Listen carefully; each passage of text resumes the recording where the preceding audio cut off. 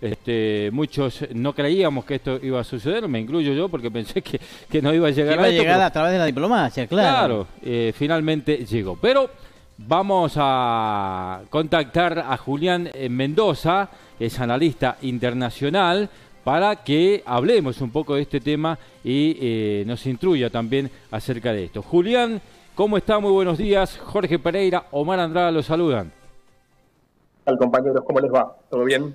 Bien, bien, muchísimas gracias. digamos, de todo bien. Claro, con esta situación, eh, Julián, con la que hemos amanecido hoy, ¿no? Nadie quiere, supongo, ¿no? Una, una guerra, una, un enfrentamiento bélico, eh, más en esta situación. Yo quiero esto que nos explique un poco, ¿no? Eh, primero, que nos ponga en contexto para quien por ahí está um, no muy al tanto de por qué se origina esto, cuáles son las causas, las consecuencias y después, bueno, cómo nos va a impactar a nosotros los argentinos.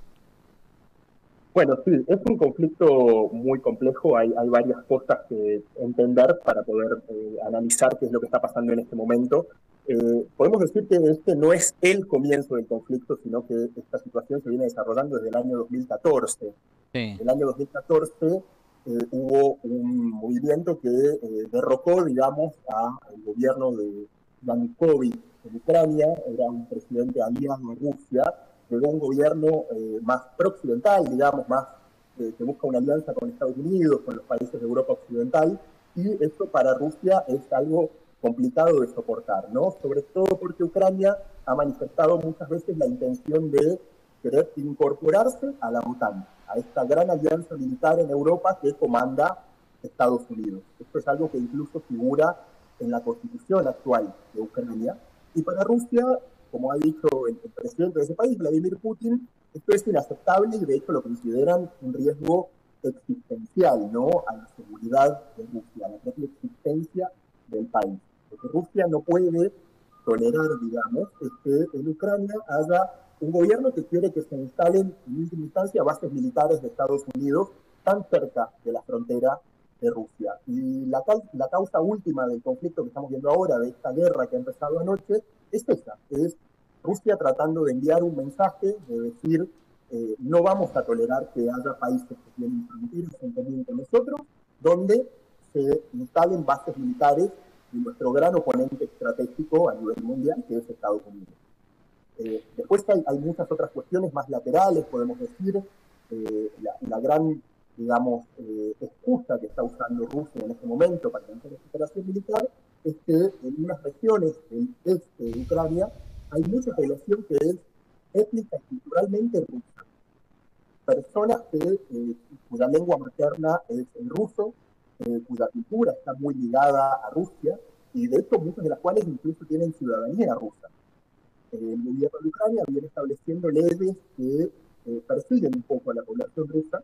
Eh, por ejemplo, hay una prohibición de utilizar la lengua rusa en ámbitos oficiales, y esto obviamente a toda esa población rusa del este de Ucrania no le cae nada bien, ¿no? Entonces la excusa que hoy está utilizando Rusia para lanzar esta operación es, bueno, nosotros tenemos que proteger a esta población que eh, pertenece a nuestro pueblo, por decirlo de alguna manera, aunque viva en otro estado.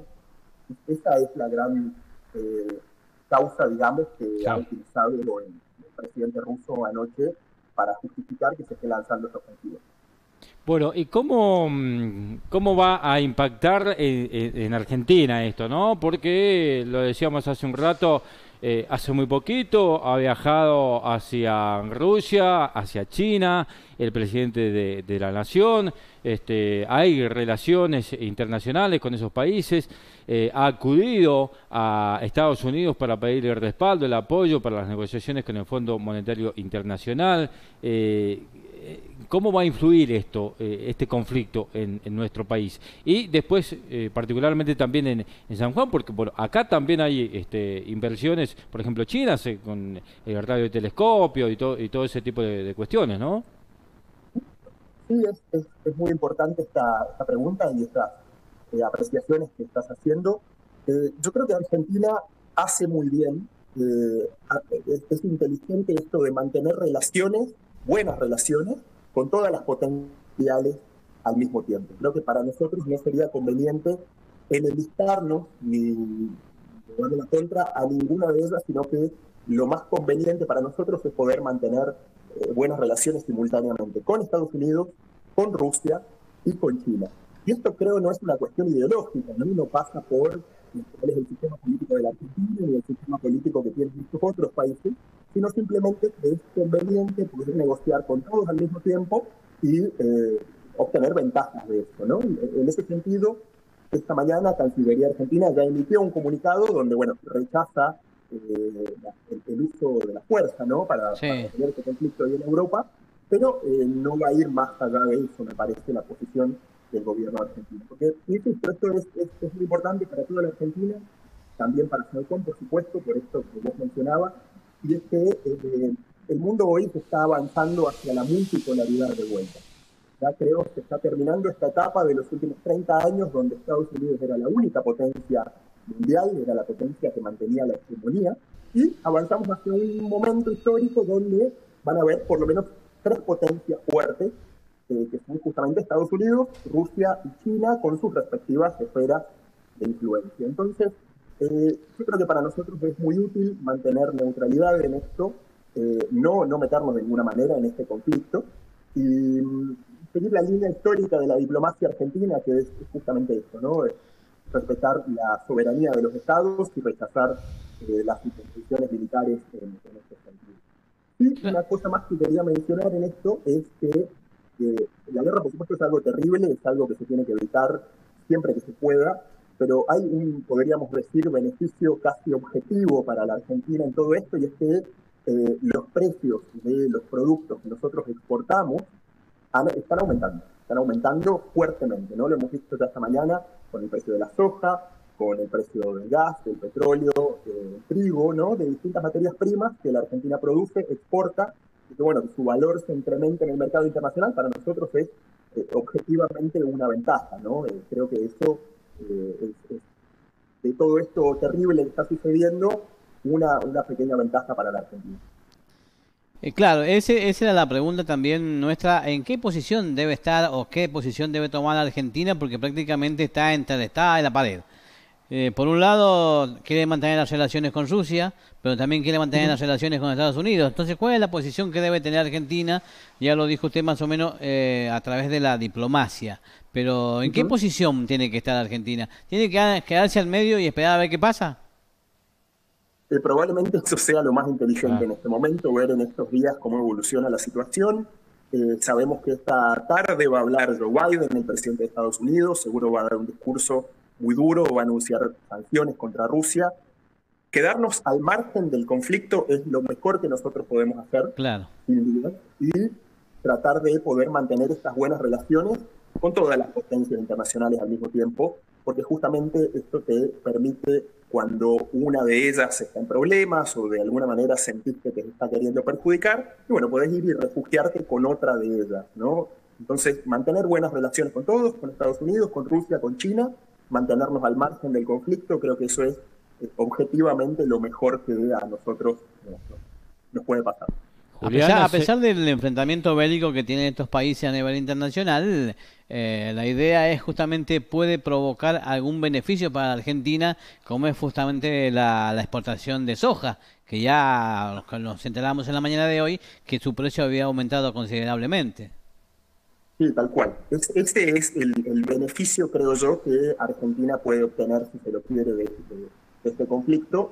Eh, y, ya se está viendo reflejado en los, mercados internacionales. ¿no? Hoy, por un lado, hemos visto que las bolsas del mundo han caído bastante ¿no? en los precios de las acciones.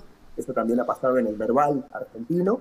Pero por otro lado, los precios de las materias primas se están incrementando, justamente porque la zona de conflicto es una que tiene mucha producción de hidrocarburos y mucha producción agrícola. Y justamente esos son algunos de los bienes que Argentina más exporta y por ende poder obtener beneficios aún mayores de esa exportación, para nosotros es, un beneficio. Bueno, esos son este, algunos de los puntos, ¿no? ¿Hay otros factores y alguno que puntualmente eh, afecte gravemente a San Juan? Eh, afortunadamente no creo yo, o sea, que nos vaya, nos vaya a impactar negativamente. Creo que no hay eh, factores en esto. Esto es algo que está sucediendo muy lejos. Creo que acá sí hay inversiones, sobre todo de, de, China, en, Argentina, pero China por ahora está completamente al margen de este conflicto, completamente al margen, ¿no? Entonces, estos flujos de capital, de inversiones que estamos viendo, yo creo que van a continuar con, con naturalidad y bueno, de hecho, este anuncio de que Argentina va a ingresar ¿no? en el programa de China de la ruta y la franja eh, realmente se va a mantener eh, con normalidad. Julián, muchísimas gracias eh, por este aporte. Necesitábamos el análisis de, un especialista, usted lo es. por seguramente vamos a seguir en contacto, vamos a seguir dialogando porque esto lamentablemente recién comienza, así que seguramente va a dar lugar para nuevos análisis en el, en el futuro, así que le agradecemos enormemente. Encantado, compañeros. Un abrazo. Chao, hasta luego. Muchísimas gracias. Un abrazo. Julián.